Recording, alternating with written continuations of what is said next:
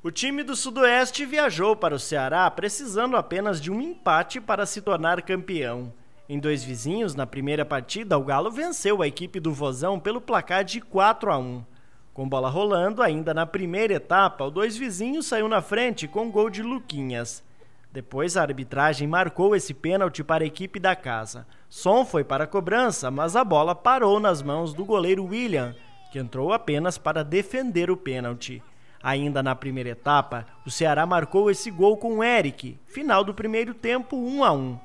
No segundo tempo, Eric marcou novamente e colocou a equipe cearense à frente do placar. A resposta veio dois minutos depois com gol de Neném Ribeiro, 2 a 2. O Ceará tentou correr atrás do prejuízo, vencer para levar a prorrogação, mas teve dificuldades nos minutos finais com a bela atuação do goleiro Jaime, que fez defesas difíceis. Final 2 a 2 e Galo campeão da Copa do Brasil 2020.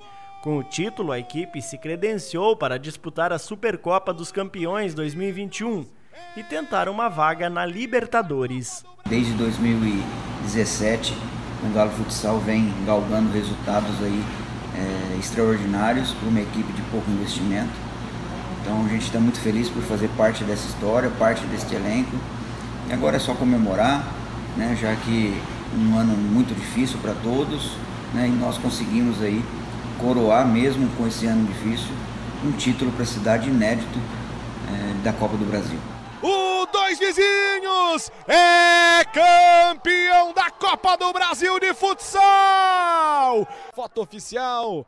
E aí sim, os campeões da Copa do Brasil de futsal. Um, dois, Faça festa, torcedor! O Dois Vizinhos é campeão da Copa do Brasil de Futsal 2020.